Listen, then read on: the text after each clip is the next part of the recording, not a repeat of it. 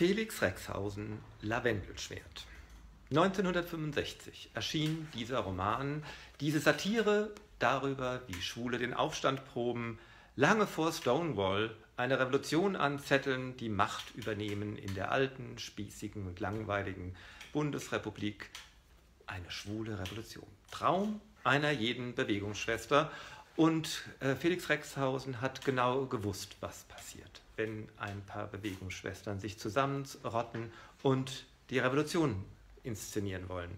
Sie gründen ein Organisationsteam, einen Organisationsverein, machen Vorschriften, tüfteln aus, Regeln. Und was machen sie natürlich als nächstes? Sie zerstreiten sich. All das wird in diesem Roman gnadenlos seziert. Der Roman gibt sich als Dokumentensammlung aus dem Jahr danach. Die Revolution ist natürlich gescheitert.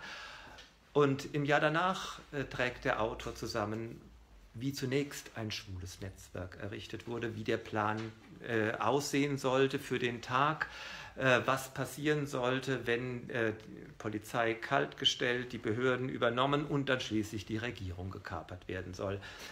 Wie die, mit welchen perfiden Erniedrigungen die damalige, natürlich die CDU geführte äh, Regierung äh, rechnen musste, wie Schwule sie vorführen wird, all das in gnadenloser Satire hier in diesem Roman versammelt.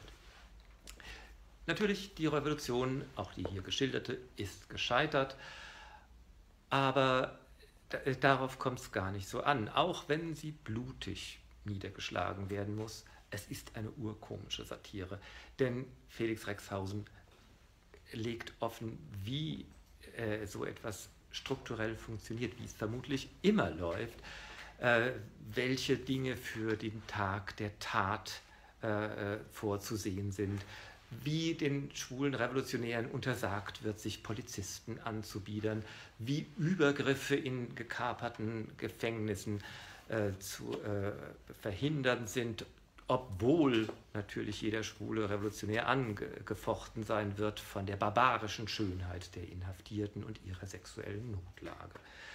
All das natürlich wunderbar und die Vorschriften gehen bis ins Detail.